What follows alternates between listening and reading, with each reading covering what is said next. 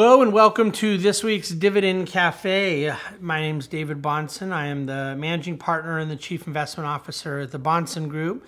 And uh, we welcome you to our weekly podcast and, of course, those watching on video as well.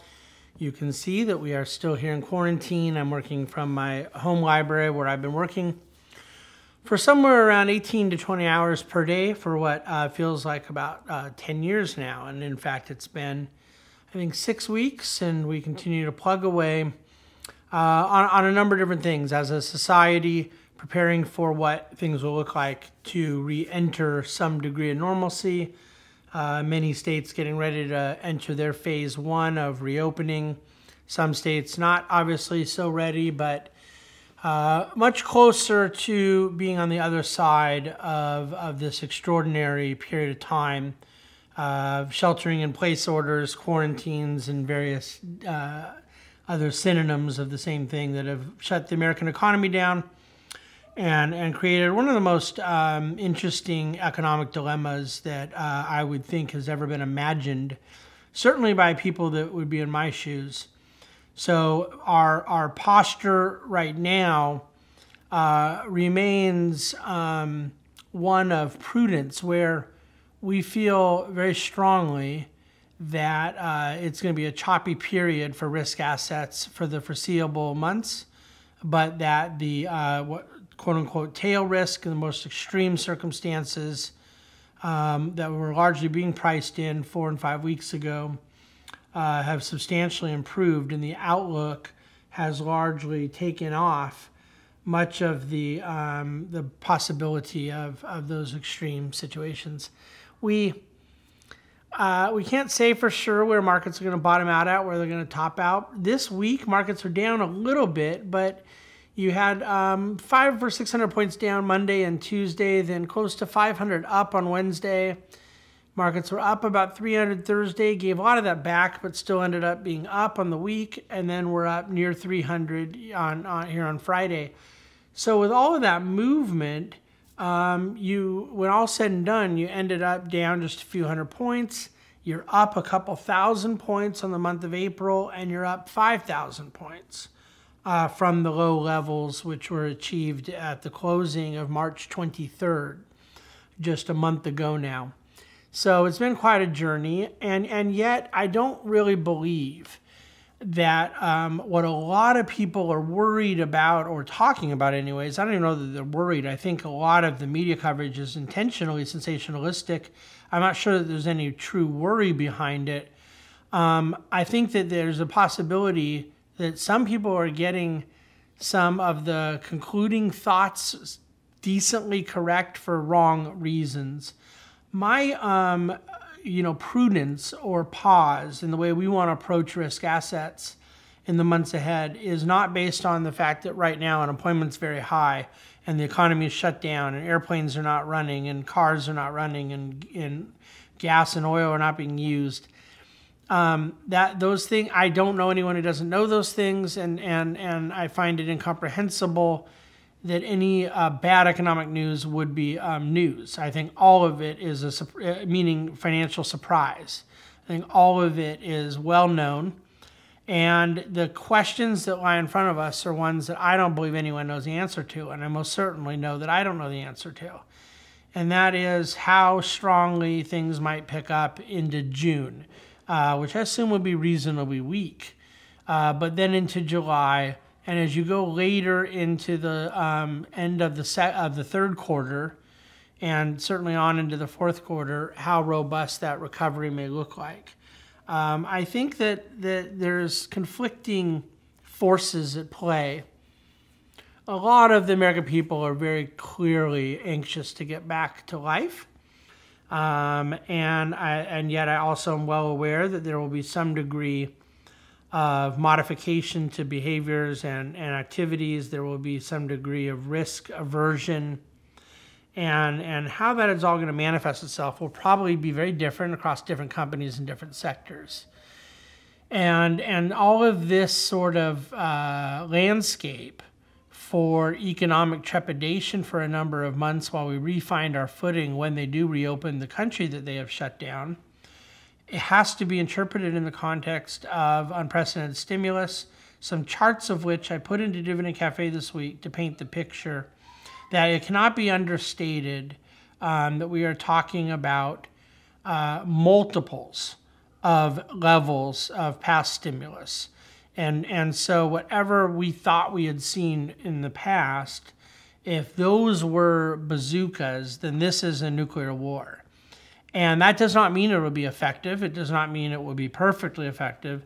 More than likely, it means it will plug a lot of holes and be effective in that sense, but not cover everything, you know, not be perfectly distributed as a stimulation plan, uh, things of that nature. Um, however, trying to interpret and, and, and apply investment around the already unknown economic landscape with the unknowns of the stimulus effectiveness, both on the monetary side and fiscal side, I think will be um, very challenging. And so the instinct that says I want to be highly opportunistic and put the pedal to the metal has some problems, and the instinct that says I want to wait for everything to play out has problems. And so that application of prudence um, needs to be done uh, really in a highly tailored way, client by client. The Fed will be meeting next Tuesday and Wednesday here, just a few days from now, and uh, we'll get reports from those meetings uh, at, at some point on Wednesday. And I think it has the possibility of being a very big catalyst to markets to the extent that they may potentially, again, we don't know this, fill in the blanks on some of their plans around the facilities that they've created. Uh, I don't think there's going to be any new facilities created. I think we're out of alpha, uh, letters in the alphabet, anyways. They've created um, quite a few different programs um, and, and, like I said, uh, actual facility entities by which they can be lending out um, money that they digitally, you know, facilitate. And that uh, each facility is tailored to a different um, itch that they're trying to scratch from from uh, uh, municipal bonds to corporate bonds to money markets to commercial paper, but all, all, all centered around getting the economy moving again. And the the meetings this week could potentially unpack some of what they may do in the levered loan space in some of the commercial uh, real estate world, um, mortgage originations. There's a number of questions around that. So these things these things are pretty important, and I'm not sure that we have a lot of clarity um, in the weeds on some of the structured credit side and even some of the municipal finance side. We have enough clarity to know, and markets have benefited immensely from this, and credit spreads have tightened from this that the Fed is taking the posture of being a lender, a supporter, and a kind of bazooka approach, do whatever they have to do type of thing. What I don't know um, is exactly how that will play out for a couple of these specific asset classes that I've mentioned, structured credit and so forth. And, and so next week could be interesting in that regard anything that is tightening credit spreads is facilitating the positivity in equity markets. Anything that widens credit spreads probably increases the possibility of equities um, having further leg down in their volatility. And uh, I couldn't speculate one way or the other which way they'll go. Um, there isn't speculation for me around the general posture, which is Federal Reserve accommodation. Um, but uh, into those specific weeds, we'll have to see what the impact is in the credit markets next week. So, uh, other than that, the earnings season being such a non event, I mean, that could change next week as you do have really the heart of earnings season next week, a, a substantial amount of companies reporting.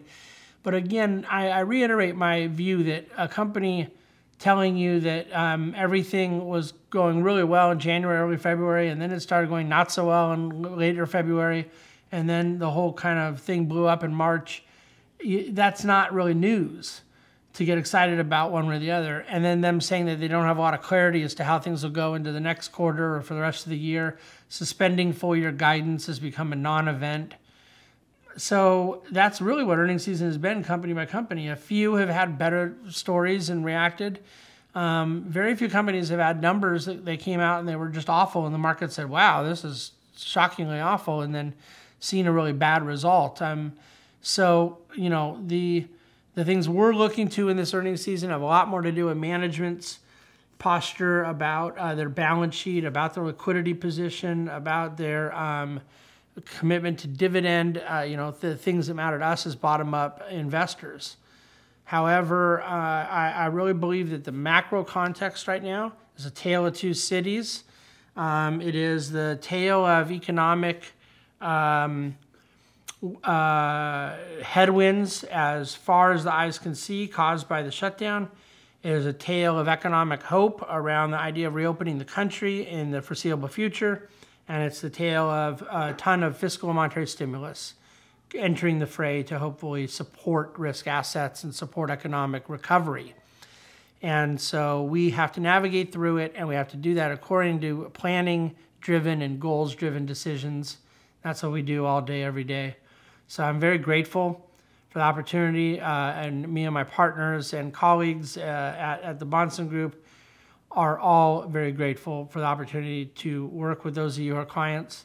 Uh, we hope you are benefiting from the material we're sending. We definitely solicit your feedback, questions, comments and I'd just like to reiterate as you go into the weekend that to the extent that none of this is easy for us and not been easy for me, uh, the stress and the workload, you, know, uh, nobody has to worry about me at all. I've got an awful lot of support, encouragement, comments. Uh, I'll never forget any of it. I mean that. The kindness has been absolutely incredible. But um, I'm fine, and my team's fine and what I worry about is you all. I want our clients to be okay. I want our clients to be at peace. We feel that we get paid to uh, have your anxieties projected onto us. And it's not always my favorite thing in the world, but it is our job, and we're going to continue doing it, whether this thing lasts for another few days or another few quarters. No matter what, this is what we're going to be here to do. And I certainly hope we'll be doing it from our own office and going out to restaurants very soon as opposed to uh, at home base. But in the meantime, enjoy whatever it is you're doing this weekend. Love your family, love your friends, be well, be safe, and soon be free.